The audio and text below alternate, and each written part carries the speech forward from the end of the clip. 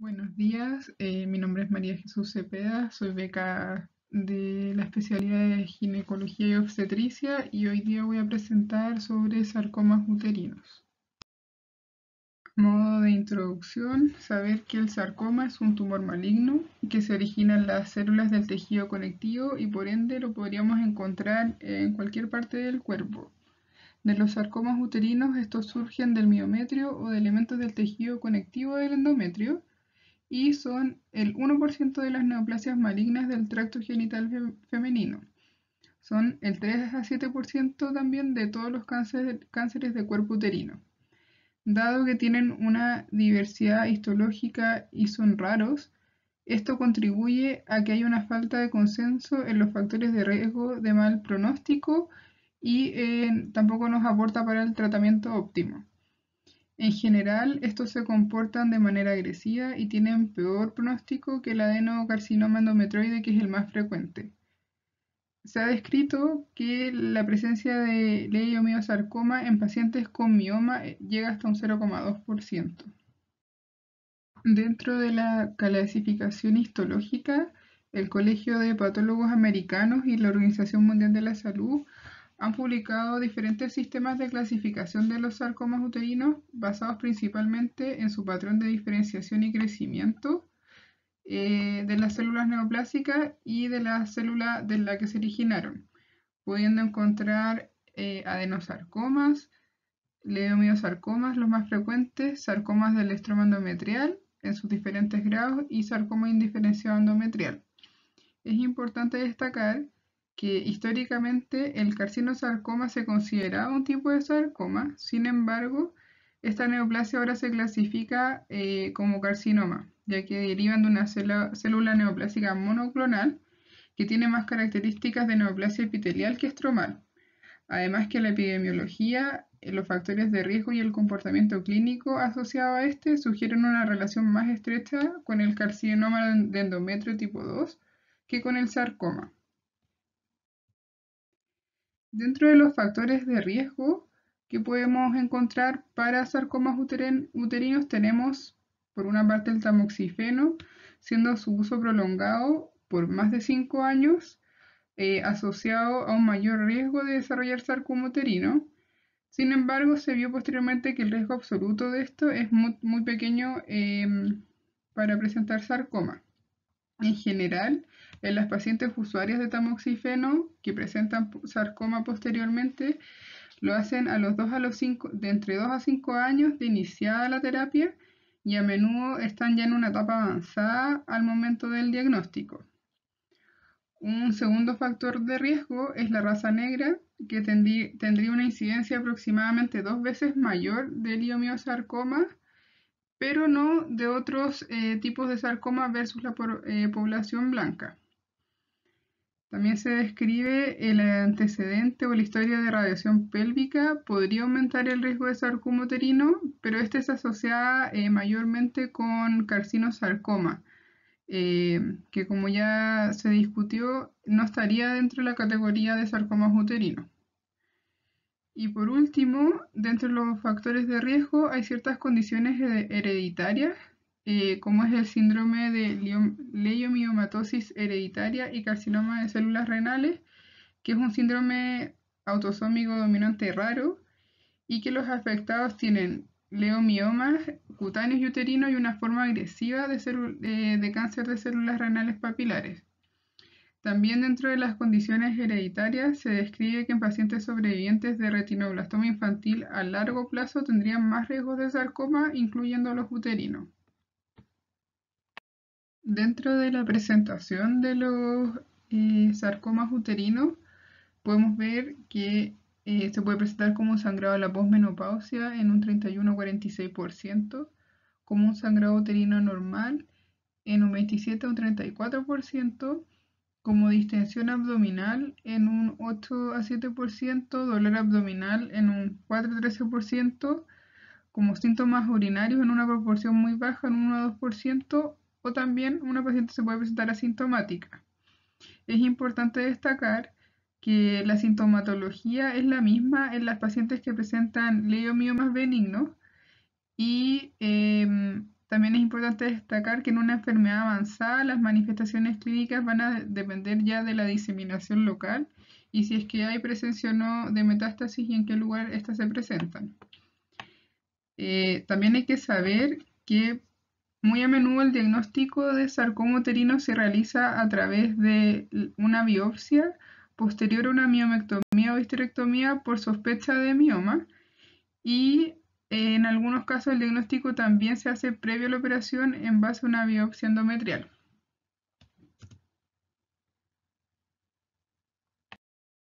En el estudio de los sarcomas uterinos, eh, tenemos que tener en cuenta que los leiomiomas y los sarcomas uterinos son muy similares en las imágenes, por lo tanto no existe una modalidad de imagen que pueda diagnosticar de manera confiable los sarcomas.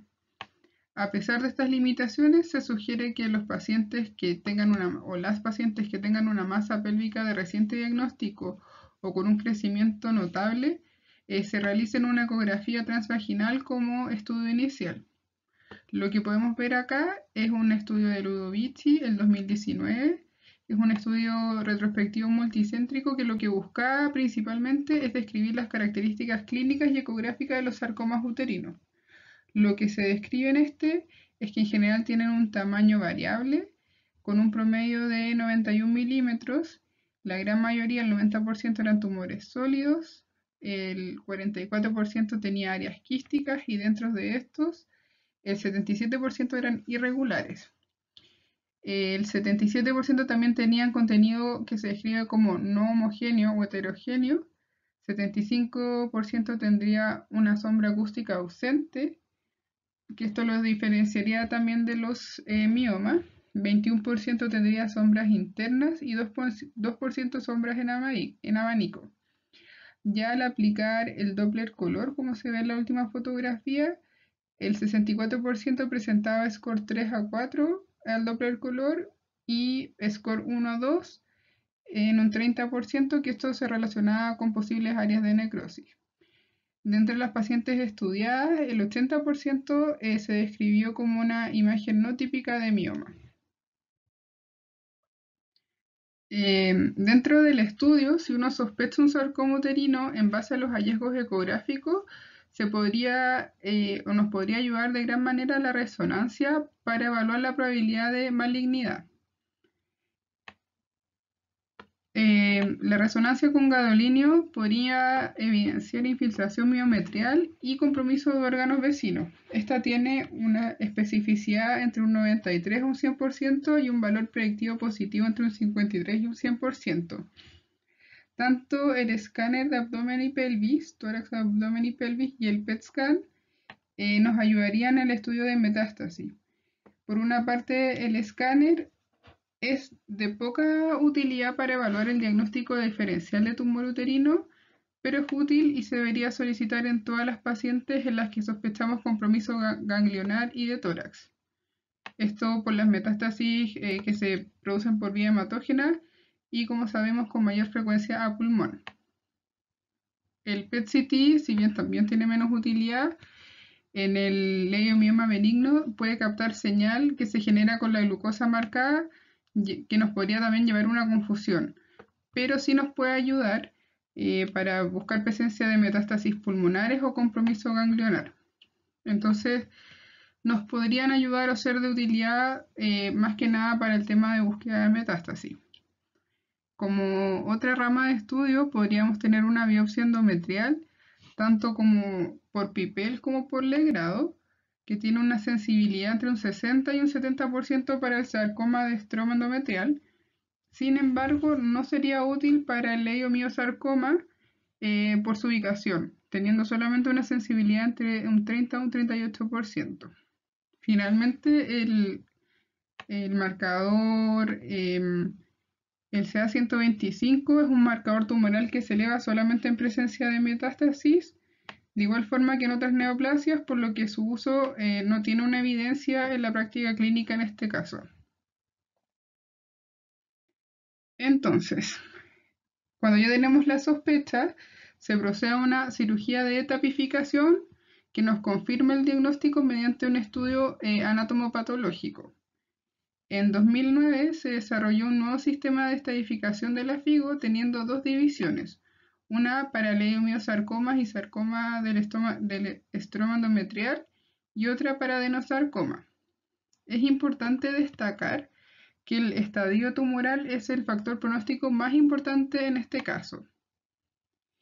Y como vemos en el esquema, la principal diferencia entre estas dos clasificaciones es que en el estadio 1 los leiomiosarcomas y los sarcomas del estroma endometrial se clasifican de acuerdo al tamaño tumoral, siendo la diferencia entre 1A y 1B si es que tiene si es mayor o menor de 5 centímetros versus el adenocarcinoma que se clasifica de acuerdo al grado de eh, invasión, diferenciándolo en 1A, 1B, 1C de acuerdo al grado de infiltración. Ya desde el grado 2 en adelante, o estadio 2 en adelante, eh, se, comportan se clasifican de manera eh, similar, siendo el estadio 2 si es que el tumor se extiende más allá del útero pero dentro de la pelvis, siendo el 2A eh, compromiso de los anexos y 2B compromiso de otras estructuras pélvicas. La etapa 3 nos habla de si es que invade estructuras abdominales y lo importante de esto es destacar es que no solamente que protruye hacia la cavidad eh, abdominal, sino que la invada. Y la etapa 4 es que infiltra órganos vecinos a distancia, que puede ser recto vejiga o más allá. Como se describió anteriormente, eh, dentro de los sarcomas uterinos tenemos los leomiosarcomas, los sarcomas del estroma endometrial, los adenocarcinomas y los STAMP, que los vamos a discutir cada uno por separado a continuación. Para comenzar, los leiomiosarcomas eh, son un 1 o 2% de las neoplasias malignas del útero y eh, son los más frecuentes, son entre un 63 y un 65% de los sarcomas uterinos. Se da principalmente en mujeres mayores de 40 años y se presenta típicamente como un tumor voluminoso con un diámetro promedio mayor a 10 centímetros. De hecho, solo un 25% de estos tiene menos de 5 centímetros. Se puede presentar como un sangrado uterino normal en un 56%, una masa pélvica palpable en un 54% o como dolor pélvico en un 22%.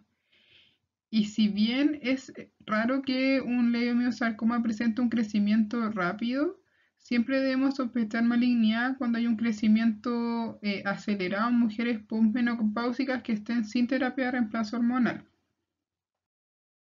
Al momento del diagnóstico, eh, un 60% estará en etapa 1, o sea, confinado a la pelvis. Eh, un 15% estará en etapas 2 a 3 y un 20% estará en etapa 4. Si bien el compromiso de anexos y linfo no es bajo, un 3 o 9% siempre hay que considerarlo y principalmente la metástasis será pulmón. Dentro de la histopatología, eh, los criterios histopatológicos para diagnosticar un leiomiosarcoma son controversiales pero generalmente incluyen eh, las figuras mitóticas, la tipía celular y la presencia de cualquier tipo de necrosis coagulante de células eh, tumorales. Estos son conocidos como criterios de Stanford y además podemos eh, recalcar que al tener dos de estos tres criterios, el riesgo de metástasis indica que puede ser incluso mayor a un 10%. Dentro de la biología molecular de los leiomiosarcomas, para diferenciarlo de los tumores benignos del miometrio, son útiles eh, saber si es que hay sobreexposición de P16 y del KI67, si es que estos están elevados. Además, podrían presentar marcadores clásicos eh, de músculo liso como la desmina, la checaldesman, actina. Y pueden eh, presentar marcadores de estroma endometrial, son inmunoreactivos al CD10. Además, en ocasiones pueden, eh, de estirpe epitelial pueden presentar queratina positiva. Dentro del tratamiento que se describe, tenemos la histerectomía total vía abdominal, eh, pudiendo tener citorreducción si es que hay presencia de tumor fuera del útero, y eh, la salpingoforectomía bilateral y la linfadenectomía siempre es controversial, ya que la metástasis de estos órganos ocurre en un porcentaje muy bajo. Se debe considerar la preservación de ovarios si es que tenemos una paciente eh, premenopáusica en estadios inicial del leomiosarcoma. También, eh, por otra parte, debemos considerar eh, la linfadenectomía si es que tenemos linfonodos sospechosos o compromiso extrauterino, ya que la presencia de linfonodos positivos reduce la sobrevida libre de enfermedad a 5 años de un 64 a un 26%. Como adyuvancia, no, ninguna forma de terapia adyuvante ha demostrado aumentar la sobrevida. De hecho, en las etapas iniciales, la evidencia demuestra que no hay eh, beneficios, o sea, no se aportan beneficios en la sobrevida global ni en la sobrevida libre de enfermedad. De hecho, la recomendación es seguimiento. Y en las etapas más tardías, 3 y 4, eh, que hay un elevado riesgo de recurrencia posterior a la cirugía, se podría ofrecer quimioterapia después de la resección en lugar de, solamente observar, aunque no se ha establecido si efectivamente este tratamiento mejora la supervivencia. Por ende, eh, igual podríamos considerar la vigilancia como una alternativa razonable. Y dentro de los factores pronósticos, este en general eh, va a tener un mal pronóstico incluso cuando la enfermedad, esté confinada solamente al útero.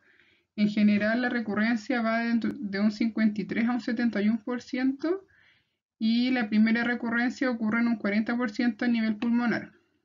Eh, a nivel pulmonar en un 40% de las pacientes. Y en la pelvis eh, solamente en un 13%. La sobrevía global eh, va de un 15 a un 25% con una sobrevía media de solamente 10 meses. Eso a 5 años. Los tumores de músculo liso con potencial maligno incierto o STAMP son tumores de músculo liso uterino que muestran algunas características histológicas que nos podrían eh, preocupar, como es la necrosis, atipia nuclear, o mitosis, pero que no cumplen los criterios de diagnóstico para leomiosarcoma y por ende entran en la categoría de tumores eh, como atípicos de músculo liso.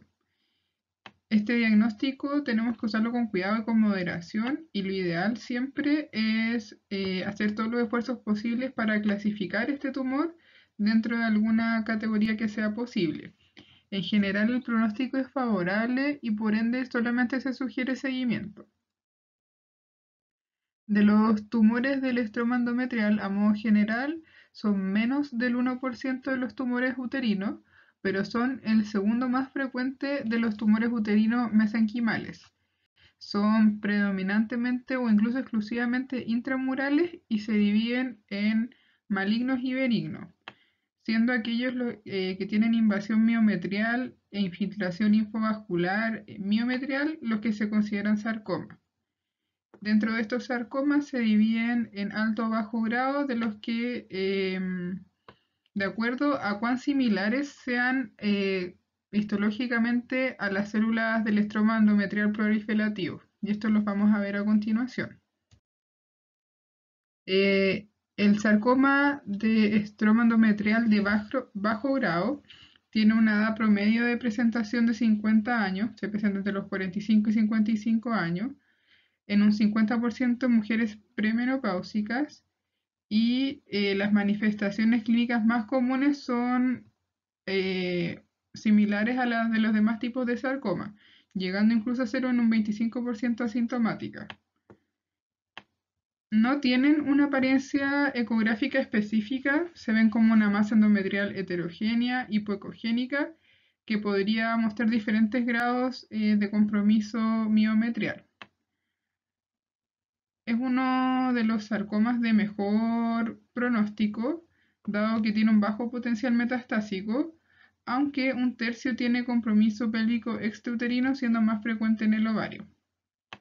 En cuanto a la histología, Consiste en células del estroma endometrial bien diferenciadas, con atipia nuclear moderada y que característicamente invade los espacios linfovasculares del miometrio.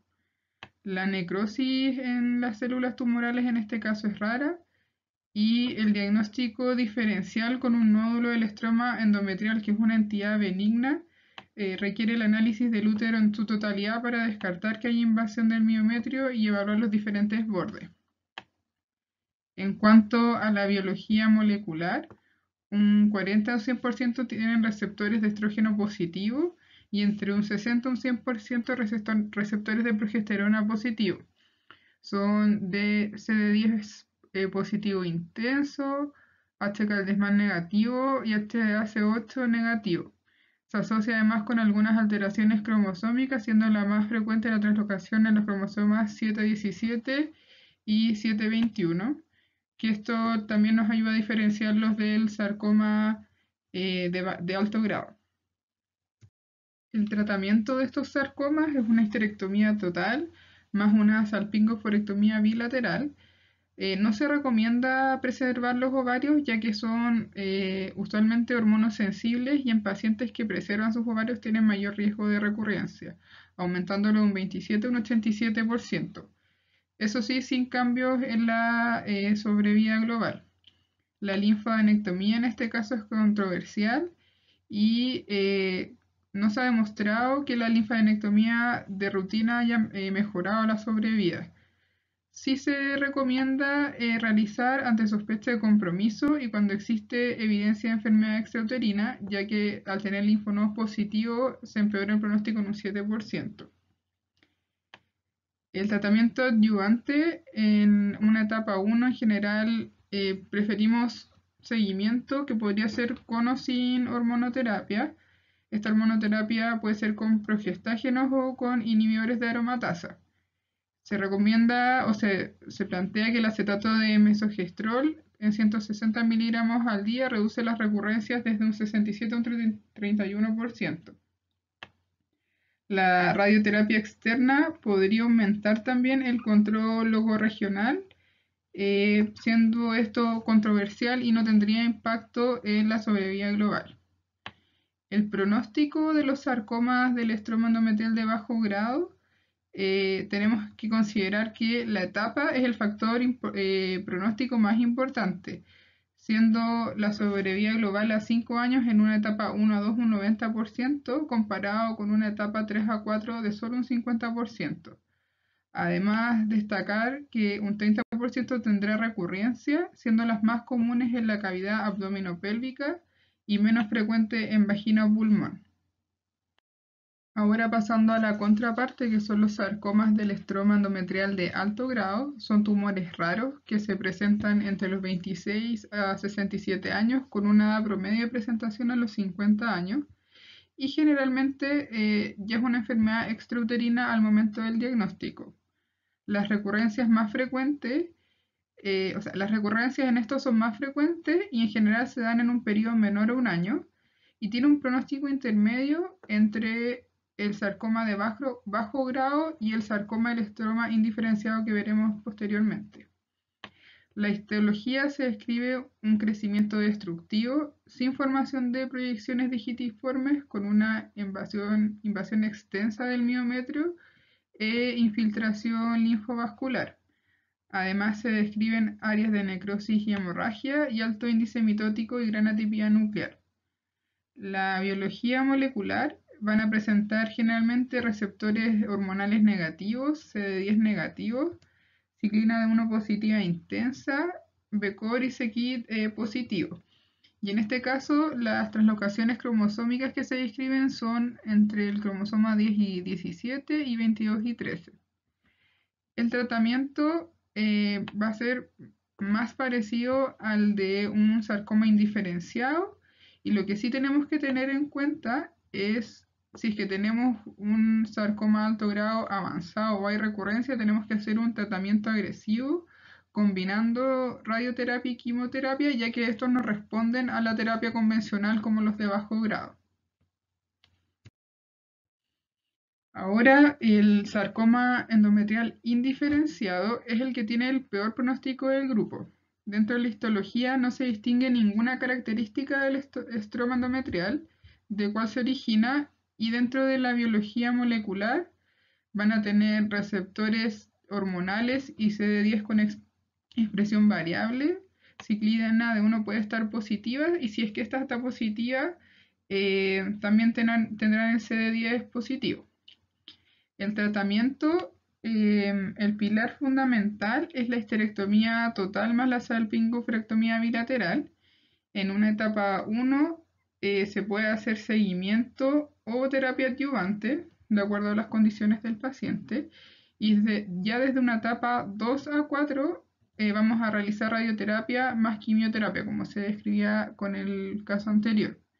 Esto dado que tiene un elevado riesgo de recurrencia y por esto vamos a indicar terapia adyuvante a pesar de que no está claro si realmente tiene un impacto en la sobrevida.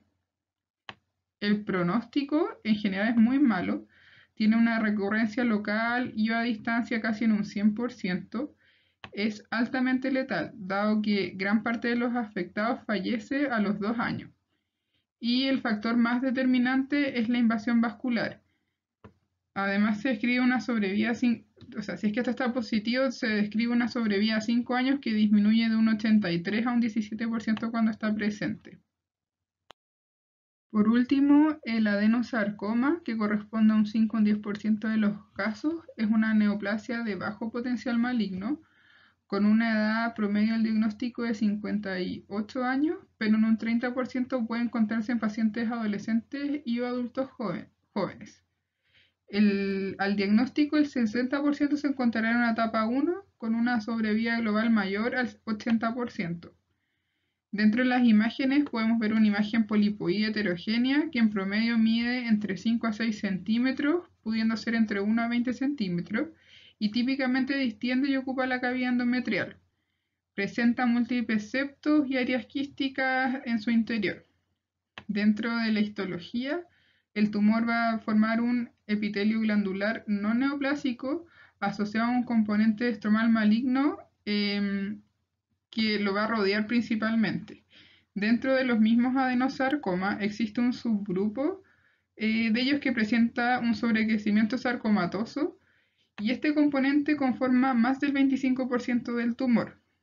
Eh, en general, este tipo de tumores tienen un alto grado histológico, tienen mayor invasión miometrial y por ende tienen mayor riesgo de recurrencia, siendo un 44% versus un 14% de los que no tienen este sobrecrecimiento. Tienen mayor mortalidad, un 31 versus un 7%, y la incidencia de esto es un 8 un 54%. Además, el subgrupo que tiene sobre, sobrecrecimiento sarcomatoso tienen marcadores de proliferación como el KI67 eh, elevado y sobreexpresión del P53. Además de marcadores de diferenciación celular, eh, tienen CD10 con menor expresión y receptores hormonales también con menor expresión. En cuanto al tratamiento de los adenosarcomas, nuestro pilar es la histerectomía total más la salpingoforectomía bilateral. La linfadenectomía no es necesaria porque el compromiso ganglionar es raro en estos casos. En adyuvancia, el rol de la quimioterapia, radioterapia y hormonoterapia eh, como manejo no está esclarecido para los adenosarcomas. Y en cuanto a recurrencia y pronóstico, la recurrencia vaginal y o pélvica a 5 años llega a un 25 a 30% y es principalmente cuando hay invasión miometrial o en casos de sobrecrecimiento sarcomatoso. Las metástasis a distancia pueden alcanzar hasta un 5% y por lo mismo casi siempre se debe a tumores con componente sarcomatoso puro. En cuanto a la sobrevida global a 5 años, en un estadio 1 eh, llega un 84%, estadio 2 un 63%, estadio 3 un 48% y estadio 4 un 15% y en general nos van a dar un mal pronóstico en la edad avanzada, infiltración linfovascular positiva, presencia de elementos heterólogos, llegando a un 10 a un 15% cuando hay rhabdomiosarcoma.